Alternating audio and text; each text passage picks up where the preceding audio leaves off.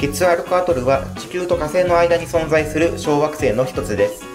発見は1953年と古く大きさは約 0.5km でこれは小惑星糸川と同程度の大きさです。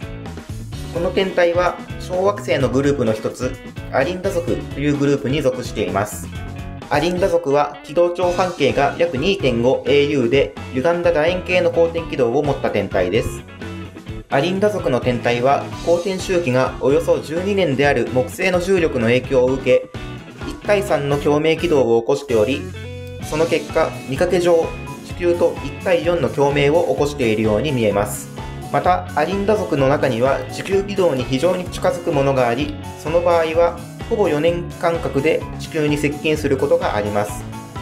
ケツアルコアトルもその一つで近日点では火星よりも地球に近づくことからアモール群にも分類されています。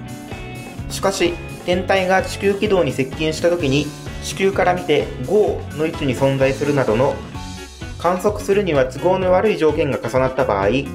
長期間にわたって観測ができずその結果数十年見失われることがあります。ケツアルコアトルの場合2004年に観測されて以来20年近くにわたって見失われています。ただし、ケツアルカートルの公転周期は4.057年であり、毎年少しずつ位置関係がずれていくため、2046年7月以降は観測を行いやすい天体となり、40年ぶりにこの天体が再発見されるかもしれません。